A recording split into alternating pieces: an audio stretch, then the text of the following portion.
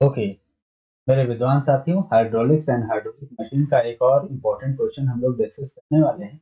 इससे पहले मैंने जितने वीडियो भी वीडियो लेक्चर डिस्कस किए हैं, वो सभी हाइड्रोलिक्स एंड हाइड्रोलिक बहुत इम्पोर्टेंट और दो तीन और वीडियो लेक्चर रह गए हैं, जो कि काफ़ी इम्पोर्टेंट है। इसके अलावा आपके, अगर ये टॉप ट्वेंटी क्वेश्चन की जो सीरीज़ है, अगर आप कर लेते हैं, आपके एग्ज़ाम में 80 परसेंट से ज़्यादा क्वेश्चन सभी यही पूछे जाते हैं बार बार रिपीटेड क्वेश्चन होते हैं तो बिल्कुल भी आपको परेशान होने की ज़रूरत नहीं पड़ेगी।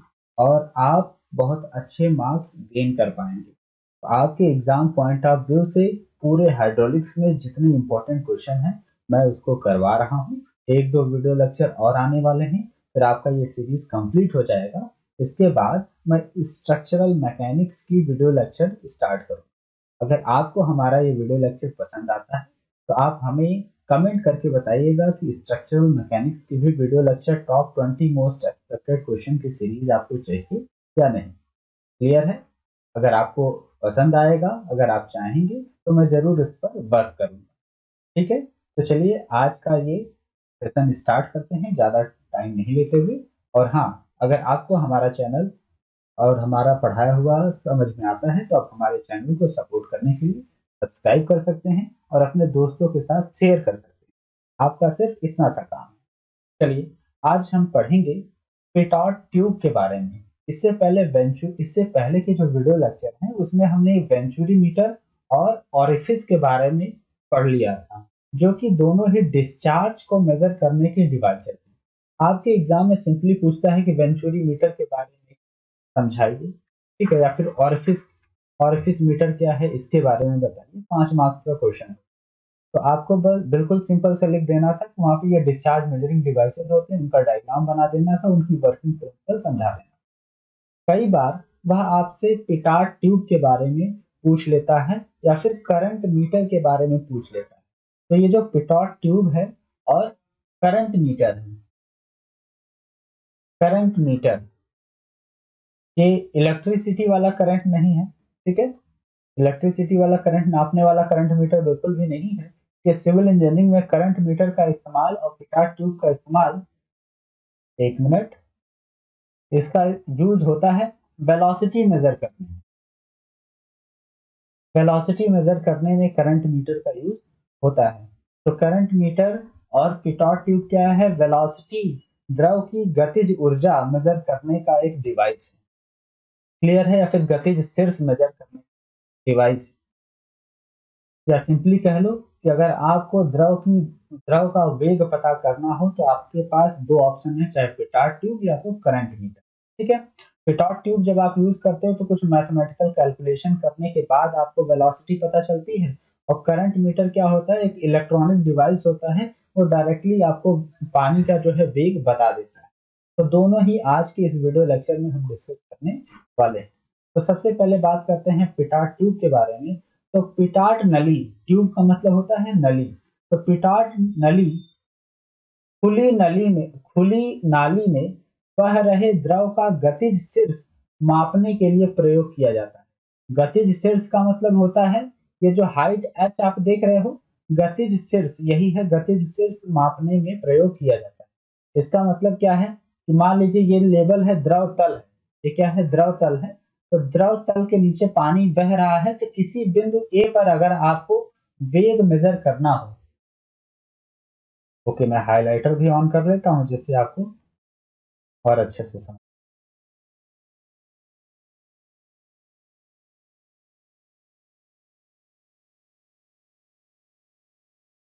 ठीक है?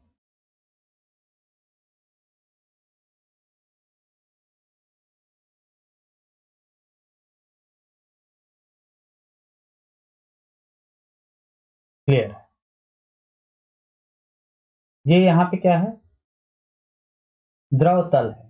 तो द्रव के नीचे किसी भी बिंदु ए पर अगर आपको पता करना हो यहाँ पे पानी का वेग कितना है तो इस बिंदु पर एक एल आकार की कांच की पतली नली होती है। एल आकार की कांच की पतली नली होती है तो ए पॉइंट पे आप इस नली को इस तरीके से इंस्टॉल कर देंगे। तो जो भी पानी बह रहा होगा, इस नली के अंदर प्रवेश कर जाएगा। और जितना ज़्यादा वेग होगा तो अपने वेग से, क्योंकि अब पानी का मुक्त तल तो ये है तो पानी ऑटोमेटिकली इतनी ऊंचाई तक तो आएगा ही, इतनी ऊंचाई तक तो भरेगा ही ऑटोमेटिकली आपको पता ही कोई भी पाइप वगैरह पानी में आप डुबाते हो तो जो अपना तल होता है, उतने उसके, उतने तल तक तो पानी भर ही जाता है। प्लस कुछ वेलोसिटी होने की वजह से, वेग होने की वजह से पानी जो है, इस ट्यूब के ऊपर कुछ ऊंचाई तक और चढ़ जाएगा। यह डिपेंड करेगा कितनी वेग से पानी बह रहा है। ज़्यादा वेग से बह रहा होगा तो ज़्यादा ऊंचाई तक पानी जो है इस ट्यूब में चढ़ जाएगा। तो मान लीजिए कि एच ऊंचाई तक पानी जो है इस ट्यूब में चढ़ गया है। ये जो पिटॉट ट्यूब होता है, इसमें रीडिंग लगी होती है, यानी कि इसमें स्केल बना होता है। तो आप उस स्केल के अकॉर्डिंग आप पढ़ सकते हो कि कितनी ऊंचाई तक पानी चढ़ गया है। जितनी भी ऊंचाई तक पानी जो है कि इस अपने द्रव तल से ऊपर चढ़ जाता है, वो हाइट एच आप नोट कर ले। ठीक है? और इसका एक सिंपल सा फार्मूला है, द्रव प्रवाह की गति v बराबर अंडर रूट में टू जी इंटू एच ये जो है कि फार्मूला होता है जिसमें द्रव प्रवाह की गति हम पता करते हैं। तो द्रव प्रवाह की गति स्मॉल v बराबर अंडर रूट में टू तो कांस्टेंट है। और g क्या है? ग्रेविटेशनल एक्सेलरेशन जिसकी वैल्यू क्या होती है? Nine point eight one into H जितनी भी ऊंचाई तक ये पानी फ्लो हुआ है, उसकी जो एच यहाँ पे आप रख के कैलकुलेट कर दोगे तो आपको उस उस ओपन चैनल का आपको पता चल जाएगा वेग कितना। है किसी भी नाली में, किसी भी नहर में, किसी नदी में कितना वेग से पानी बह रहा है, इसको पता करने का ये सिंपल सा तरीका। ठीक है? तो पिटाट ट्यूब क्या है? एक कांच की नली है जिसका उपयोग गतिज शीर्ष या फिर गति द्रव प्रवाह की गति मापने में किया जाता है। ठीक है? यह कांच की 90 डिग्री पर मुड़ी एल आकार में, ठीक है? एल आकार में या फिर 90 डिग्री पर मुड़ी दोनों सिरों पर मुड़ी साधारण नली है। ठीक है? तो एक साधारण नली है। और ये दोनों सिरे पर खुली हुई है यानी कि यहाँ पे भी खुला है यहाँ पे भी खुला है। ठीक है? ये खुली हुई लिखा हुआ है। तो दोनों सिरों पर खुली साधारण नली है एल आकार। द्रव का वेग मा, वेग मापने के लिए इसे द्रव के इस स्थान इस प्रकार द्रव में सॉरी द्रव में इस प्रकार रखते हैं कि नली की छोटी भुजा द्रव के प्रवाह की दिशा में ये नली की देखिए, ये बड़ी भुजा है और ये छोटी भुजा है। तो नली की जो छोटी भुजा है, वह द्रव के प्रवाह की दिशा में इस तरीके से खुली होनी चाहिए, ठीक है? और प्रवाह के समांतर हमें रखना है। यानी कि प्रवाह इस डायरेक्शन में हो रहा है तो हमें कांच की नली भी इसी के समांतर में ही रखना है। ऐसा नहीं कि प्रवाह इस डायरेक्शन में, प्रवाह जो है, एक मिनट।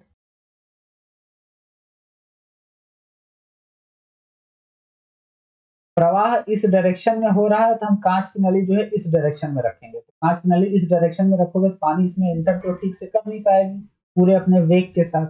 इसलिए क्या कह रहा है कि आपको ये जो कांच की नली है, प्रवाह की दिशा में, उसी के पैरल में, समांतर में कांच की नली इसको रखना है। ठीक है? आगे कह रहा है तो इससे होगा क्या कि ये जो पानी है, नली में कुछ ऊंचाई तक चढ़ जाएगा। जितनी ऊंचाई तक चढ़ेगा, वह उसकी गतिज शीर्ष बता देगा। यानी कि स्थैतिक ये गतिज शीर्ष बता देगा कि कितनी ज़्यादा गतिज ऊर्जा है इस पानी में। ठीक है? कह रहा है कि नली में, नाली के द्रव के स्वतंत्र तल से ऊपर द्रव की ऊंचाई गतिज शीर्ष कहलाती है। तो कह रहा है कि ये जो द्रव की, द्रव तल है, इससे जितनी ऊंचाई तक पानी चढ़ जाएगा इसको हम क्या बोलेंगे? इसको बोलेंगे गतिज शीर्ष। ठीक है? इसको क्या बोलेंगे? गतिज शीर्ष। ये एच को हम जो है यहाँ पे इस फार्मूले में पुट करके हमें गतिज शीर्ष एच पता चल गया है। इस फार्मूले में पुट करके हम वेग पता कर लेते हैं, प्रवाह का वेग। ठीक है? तो ये तो हो गया पूरा का पूरा पिटार ट्यूब और साथ ही साथ एक चीज़ और आपको पिटार ट्यूब में हमें बताना है कि ये जो वेग आपको पता चलता है भी बराबर भी बराबर अंडर रूट में टू जी इंटू एच ये तो हमने वेग जो नाली का हमने पता किया, नाली या नहर कुछ भी हो सकता है ओपन चैनल कह सकते हैं। इसका जो हमने वेग पता किया है, यह तो फार्मूला लगा के हमने पता किया है। लेकिन हो सकता है कि एक्चुअल में इससे कम या ज़्यादा वेग हो पॉसिबिलिटी है। और हमेशा ही यह जो फार्मूला है, वह वास्तविक वेग से कुछ ज़्यादा ही वेग वेग बताता है, क्योंकि फार्मू क्योंकि एक्चुअल में तो क्या है, पानी बह रहा है तो नाली ही है, किसी में नाली बह रहा है तो उसमें घास वगैरह जमी होती है उसके किनारे पर, ठीक है? कंकड़, पत्थर, पत्ती वगैरह उस, उसमें रहता है तो उसको, जो कि वेग को रोक देता है। आपने देखा होगा कि समरसिबल चलता है, आपके खेतों तक पानी जाती है नाली के माध्यम से। तो जहाँ पे समरसिबल चलता है तो डायरेक्टली जब पानी गिरता है नाली में, तब उसका वेग ज़्यादा रहता है। और खेतों तक पहुँचते पहुँचते उसका वेग कम हो जाता है, क्योंकि घर्षण की वजह से और घास वगैरह जमे होने की वजह से वेग कम हो जाता है। एक्चुअल में वेग तो कम हो जाता है और थेरेटिकल आप जो है कि पिटॉट ट्यूब से मेजर करोगे तो कुछ वेग ज़्यादा आता है। तो अगर आपको एक्चुअल वेग पता करना हो तो आपको एक वेग गुणांक से गुणा करना पड़ता है, यानी कोफिशियंट ऑफ़ वेलोसिटी सीवी से मल्टीप्लाई कर देना पड़ता है। जब आप कोफिस वेग गुणांक से मल्टीप्लाई कर देते हो तो आपको वास्तविक वेग पता चल जाता है। और इस कोफिशियंट ऑफ़ वेलोसिटी को सी सरफिक्स में v से डिनोट किया जाता है सी वी से डिनोट किया जाता है।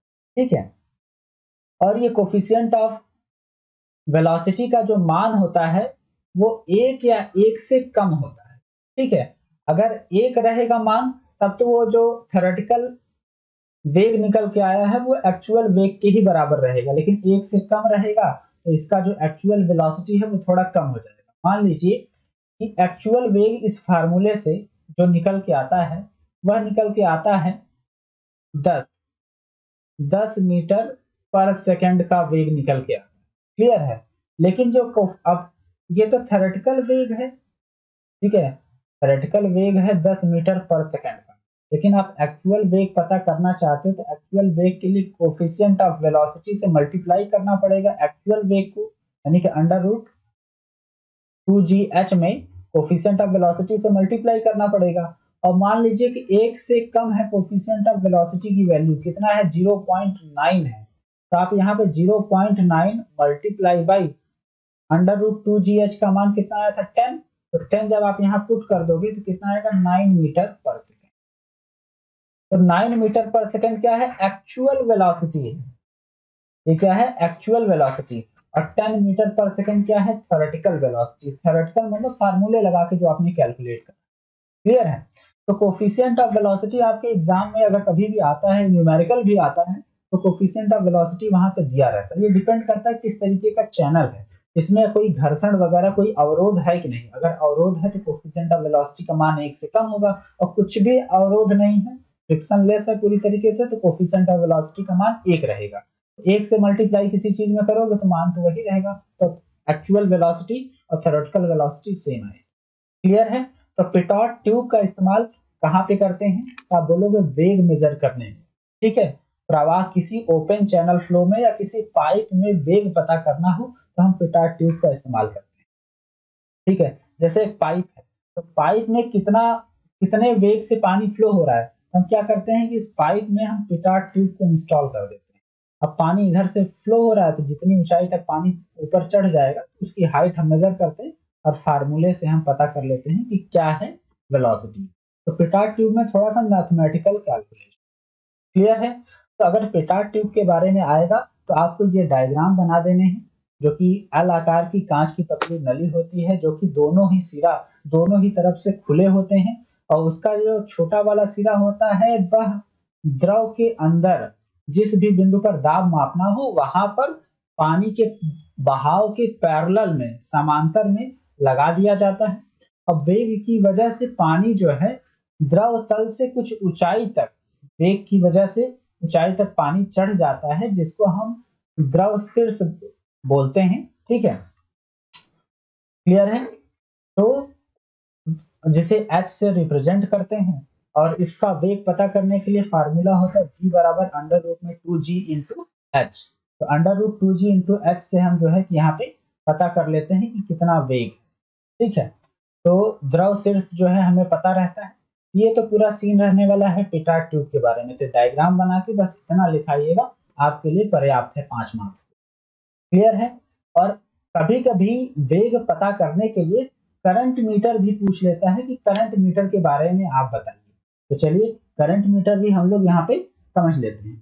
करंट मीटर भी किसी भी ओपन चैनल फ्लो में देखिए अभी जो हमने पिटाट ट्यूब आप, आपने पढ़ा है पिटाट ट्यूब क्लियर है? तो पिटाट ट्यूब किसी ओपन चैनल फ्लो में ओपन चैनल एक मिनट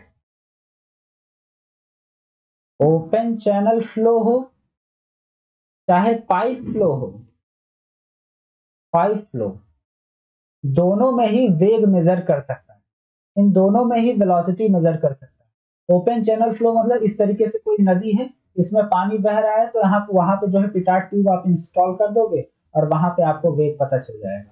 कोई पाइप है तो पाइप के अंदर भी कितना प्रवाह हो रहा है तो आपको वेग पता करना हो तो पाइप के अंदर भी आप पिटाट ट्यूब जो है इंस्टॉल कर दोगे। क्लियर है? तो आपको जितनी ऊंचाई तक पानी ये चढ़ जाता है तो आपको वहाँ से आप कैलकुलेट कर लोगे कि पाइप में कितना वेग है। लेकिन ये जो करंट मीटर है, इसका सिर्फ़ और सिर्फ़ इस्तेमाल हम कर सकते हैं ओपन चैनल में, यानी कि किसी नदी, नाले, नहर में हम जो है कि पानी का वेग पता कर सकते हैं, पाइप में हम इसका इस्तेमाल नहीं करते हैं। क्लियर है? तो देखिए, जैसे कि ये नदी है, या फिर कोई नहर है, कह सकते हो उसका वेग पता करना है तो हमने एक धागा बाँध दिया है। इस तरीके से धागे बना, बना दिए हैं तो जिससे हमें पता कि होता क्या है।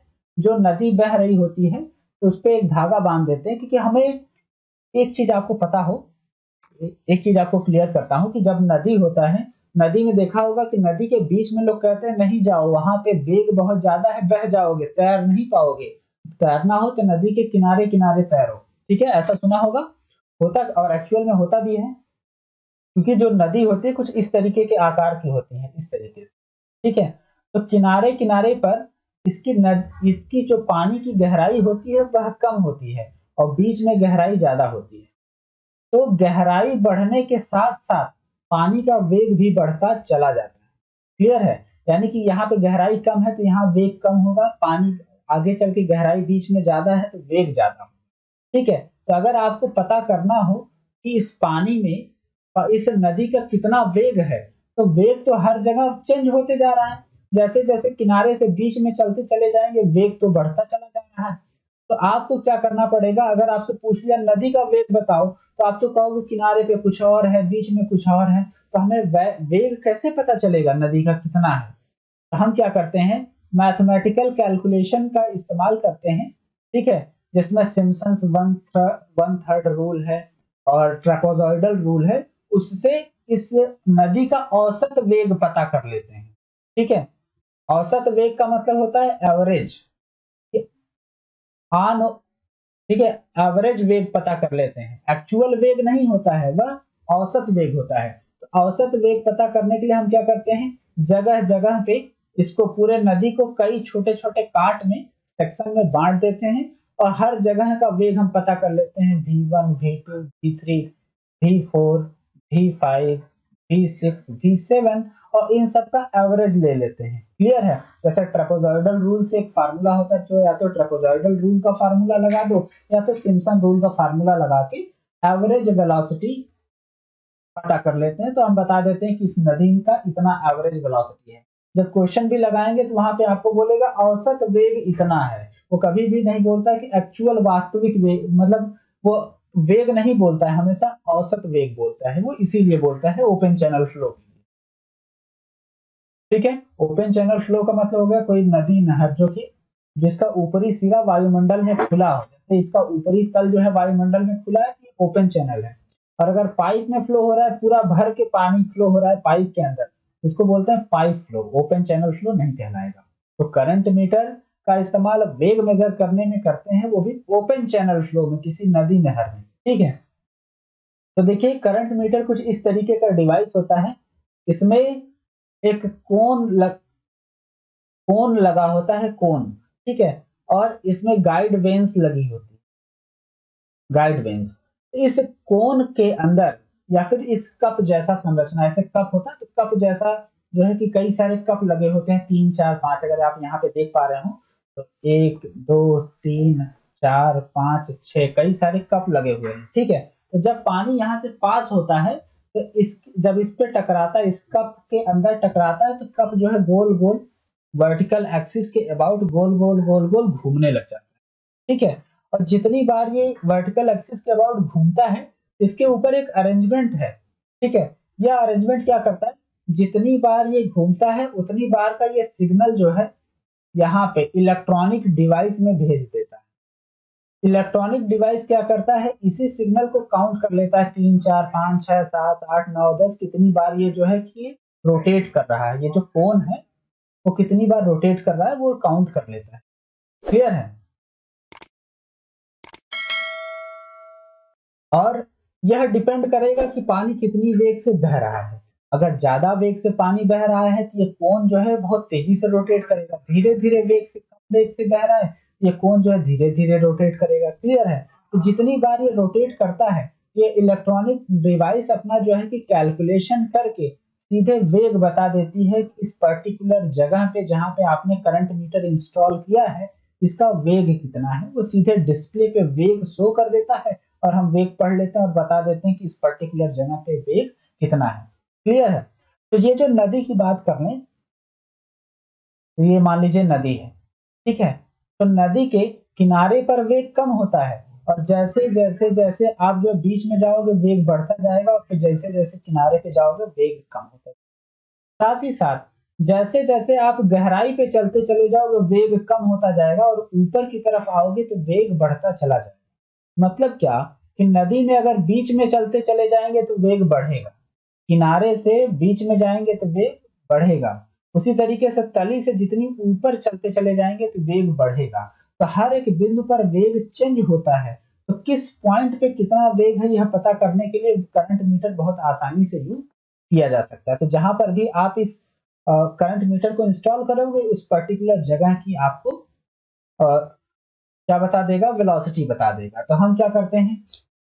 जैसे तली हमें पता करना हो जैसे ये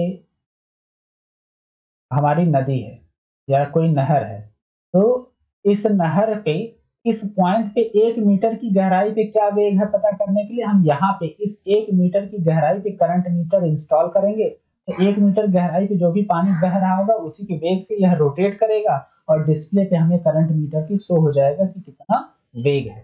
क्लियर है? ये पूरा का पूरा अरेंजमेंट होता है। इसके ऊपर एक रॉड लगी होती है, ठीक है?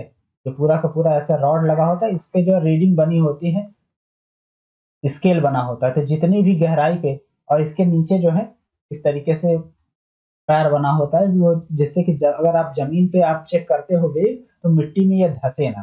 ठीक है? मिट्टी से कुछ ऊंचाई पे ही रहे, जिससे कि पानी यहाँ से फ्लो तो कुछ इस तरीके का अरेंजमेंट होता है। तो यहाँ पे देख रहे होंगे एक व्यक्ति जो है करंट मीटर का इस्तेमाल करके किसी भी ओपन चैनल फ्लो में वेग पता कर रहा है। ये जो पूरा का पूरा डिवाइस है, ये पानी के अंदर है। और ये एक वायर से कनेक्टेड है इलेक्ट्रॉनिक डिवाइस जिसमें वेलोसिटी ये आसानी से पढ़ पा रहे हैं। ठीक है? ये तो हो गया। और साथ ही साथ इस करंट मीटर में एक गाइड वेन्स लगे होते हैं। गाइड वेन्स का क्या काम होता है कि अगर करंट मीटर पानी का जो वेग इस डायरेक्शन में है तो करंट मीटर अगर हम थोड़ा सा भी टेढ़ा रखेंगे ना तो ये क्या करता है? गाइड वेन्स क्या करते हैं? इस करंट मीटर को सीधा कर देते हैं।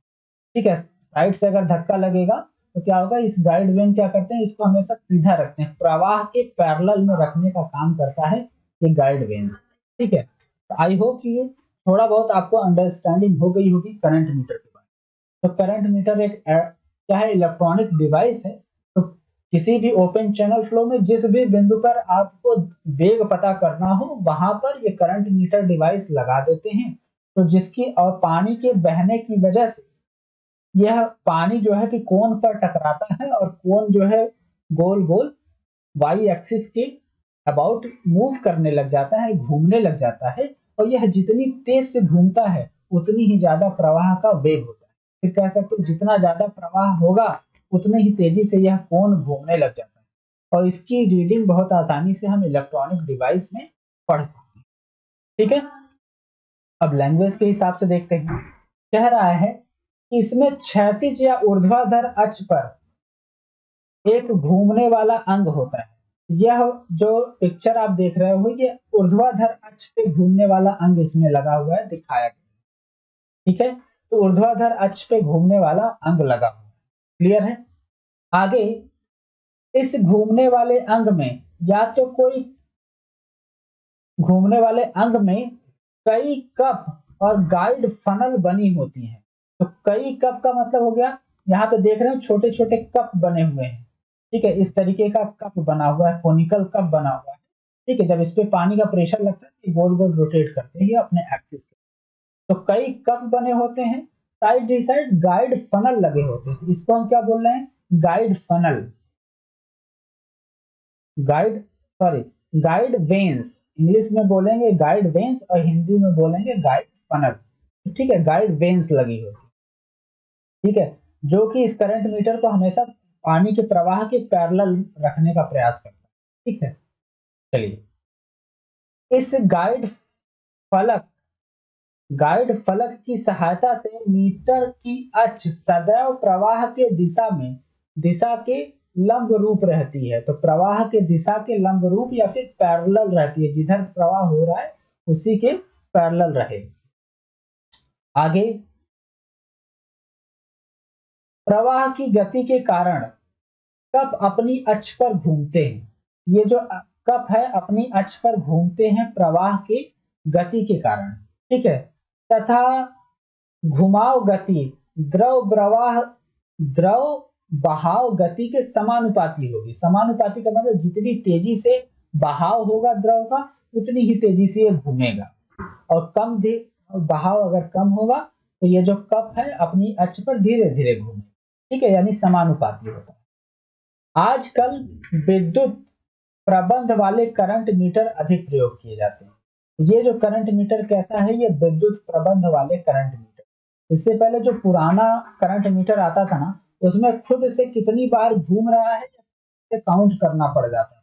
ठीक है, जिससे जो है कि कई बार जो है कि हम ठीक से काउंट नहीं कर पाते थे तो वेग सही से नहीं आता था। इसमें जो है कि बिल्कुल अच्छे से सही वेलोसिटी पता चल जाती है। ये देखिए, ये करंट मीटर है और इसका ये कोण आपको देखने को मिल रहा होगा। इस तरीके के कोन कई सारे लगे। ठीक है? क्लियर हुआ?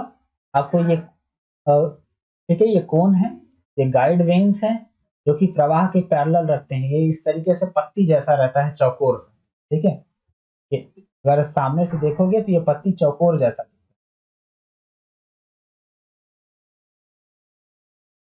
ठीक है? इस तरीके का चौकोर पत्ती होता है, ठीक से मैं बना नहीं पा रहा हूँ, ठीक है? ये एक पत्ती ये है, ये एक पत्ती ये है, दूसरी पत्ती ये है, इस तरीके से बने होते हैं, ठीक है? जिससे कि पानी इसके पैरेलल में ही ऐसे फ्लो करे। हमेशा ही, इसके पैरेलल बना रहे आगे क्या कह रहा है?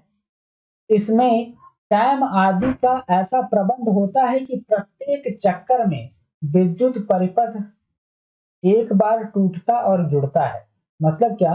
कि ये जो कैम है, इसको क्या बोल रहे हैं? कैम तो कैम को इस तरीके से अरेंज किया गया है कि अगर ये एक चक्कर घूम जाएगा तो विद्युत परिपथ जो है, इसका जो कनेक्शन एक बार टूटेगा। फिर जैसे ही घूम के आगे आएगा तो फिर विद्युत परिपथ आ जाएगा। तो जितनी बार घूमेगा तो विद्युत परिपथ जो है, उतनी बार टूटेगा, जुड़ेगा टूटेगा, जुड़ेगा। तो जितनी बार टूटता और जुड़ता है, उसको काउंट कर लेता है इलेक्ट्रॉनिक डिवाइस जैसे कितनी बार बिजली आई इस तार में, उसको काउंट कर लेता है, ठीक है? तो उसी को जो है शो कर देता है कैलकुलेशन कर इस प्रकार मीटर से दूर ही किसी काउंटर को चलाया जा सकता है। यानी कि ये काउंटर है जो कि काउंट करके बता दे रहा है। और ये मीटर लगा हुआ है, ठीक है?